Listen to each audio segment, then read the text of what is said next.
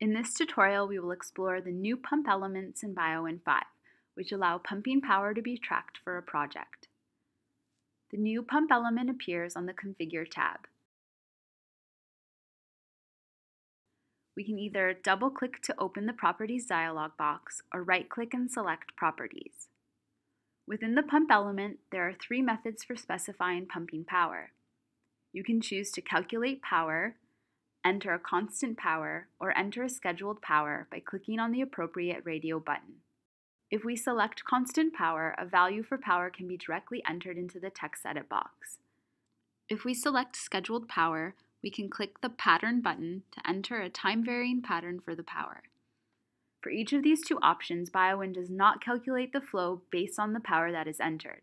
It's assumed that the required flow can be delivered by the pump. These two options can be used for keeping track of the power consumed by existing pumps at a wastewater treatment facility. If we select Calculate Power, the Pipe and Pump Specifications button becomes active. Clicking this button presents you with the Pump and Pipe Specifications dialog box. Here we can enter the static head, pipe length, and pipe inside diameter. Clicking the pump efficiency button opens a dialog where constants A, B, and C can be specified in the overall pump efficiency equations. If you only want one efficiency applied over the entire range of discharge, the B and C can be set to zero. Clicking the pipe configuration details opens a dialog box where we can specify parameters for pipe roughness and fittings. Pipe roughness can be selected from a number of pipe material options or can be user-defined by selecting the Custom Radio button and entering a value into the text edit box.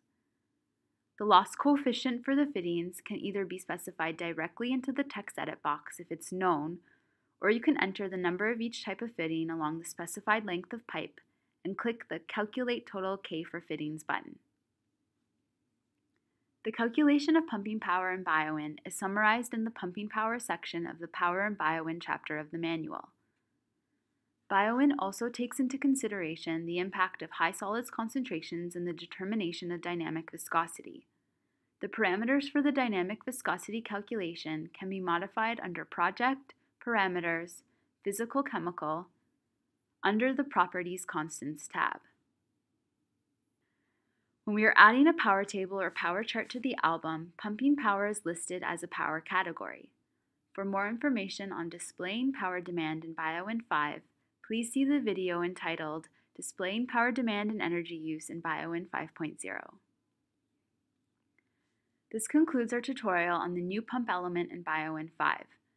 More information on the new features in BioWin 5.0 can be found on our website, as well as in the new Help Manual. In addition, please check out our video library for additional videos on how to use BioWin.